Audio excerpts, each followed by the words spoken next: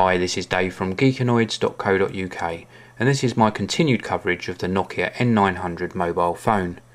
In this video I'll be covering the display and user interface as well as the media playback and camera features of the handset. Now let's unlock the screen which we do by pushing the power button on the top and then swiping to unlock.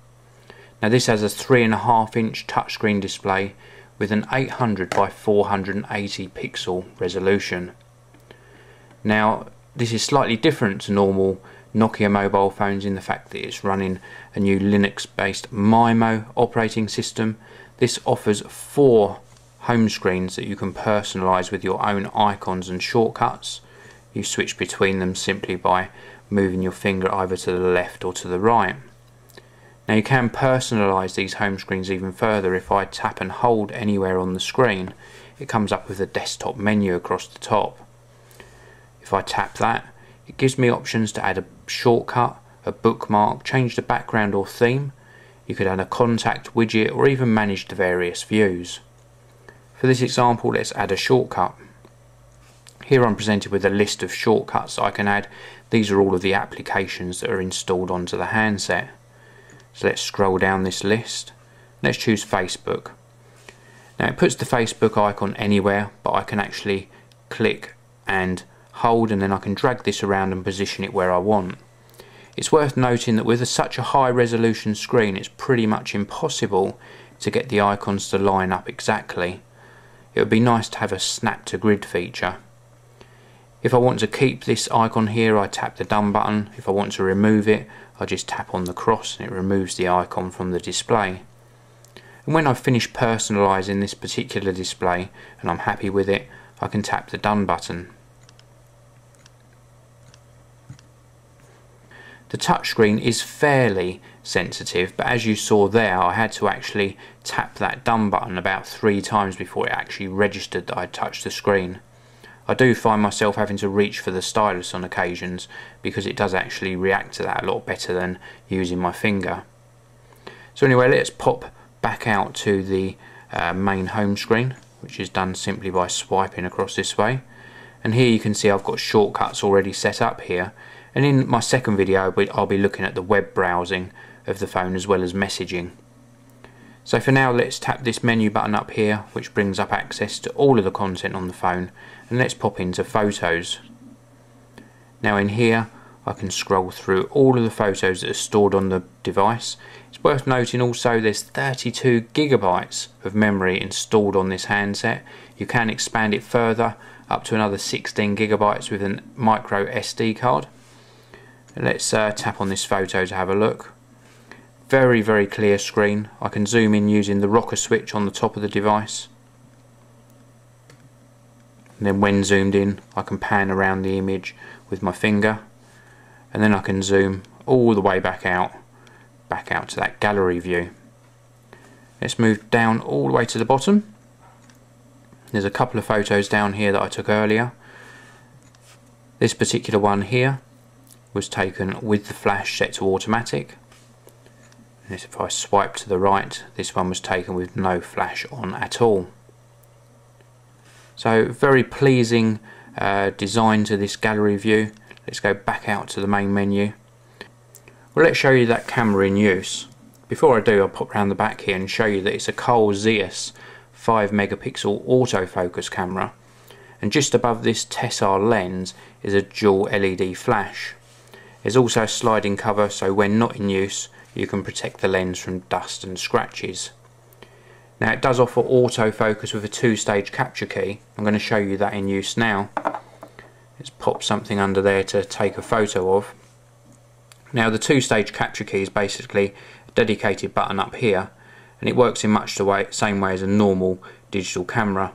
You do a half push for it to focus and lock onto the subject and then once it's focused you push down the rest of the way to actually complete taking the photo. And that's one of the photos actually taken. I'm given the option of sharing it, tagging it or actually putting it into the trash. Some of the settings here, we've got macro, we've got a portrait mode, we've got an action mode and landscape mode. We can also switch to video capture as well. Now Worth noting that it does actually capture video at uh, 640 by 480 resolution and it will actually play back video formats as well. It's got quite extensive support and I'll be showing you that in a short while. But let's continue looking at this uh, camera mode. So as well as those particular capture modes, we can go into settings here. We've got settings for white balance, ISO sensitivity, resolution and exposure. And then we've got some settings here for the flash. We can either have it set to automatic as I had then, to always on, red eye reduction or always off. And then this bottom one here is uh, where we can actually gain access to the photos that we've already taken. Let's have a look at that one we took in that example and again we can zoom in further into the image. And I must say that it is a very good camera. The optics certainly do show that Nokia build great cameras into their mobile phone handsets. There's a great a uh, great amount of detail in the resulting photo. It's evenly lit, good colour balance, so Nokia have done a very good job here. Now let's move on to showing you some video playback on the Nokia N900. So now we're going to look at the video capability of the phone. Now I'm going to pop into the main menu and then into the media player. It's worth noting before I show you some of the playback that this has two cameras on it the 5 megapixel camera on the back of the phone is capable of capturing widescreen video at 800 by 480 pixels. The front camera is a VGA camera which is really going to be used for chat options. Now the video playback is very well supported. You can play back H.264, MPEG-4, XVID, WMV and H.263. You can also stream various formats as well. There is an optional video connectivity cable as well so you can output the video playback to a PAL or NTSC TV. Now in here I'm just going to tap on a trailer that's been downloaded onto the handset and the actual uh, video quality is absolutely superb. Very good definition, very nice resolution screen. It shows how good the screen is.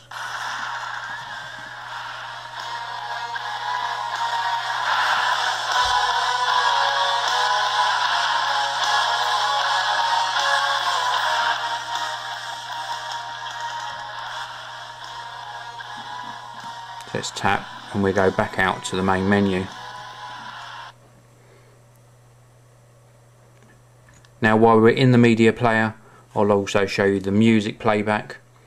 Music playback again well supported. It'll play back WAV files MP3 AAC and EAAC it's got a dedicated uh, 3.5mm audio jack on the phone so you can use regular headphones. And here we're presented with all of the various cover art for the music we've got on the phone and if I tap on one it'll give me a list of all the tracks in the particular album tap again to start it playing. We get cover art displayed and we would also get additional tracks listed down here. We can use this little slider control to jump through to various parts of the music. And then when we've listened to enough we can pause it we can skip tracks we can shuffle we can control the volume and we can go back out to the previous menu so it's got a good deal of support, it's a good media player and the video playback really does show it to its best with this fantastic 800 by 480 uh, resolution display. Well thanks very much for listening. Come back soon and check out more coverage of the Nokia N900 and more reviews on geekanoids.co.uk. This video review is sponsored by BMI Solutions, the largest reseller of document scanners within the UK with a price promise guarantee.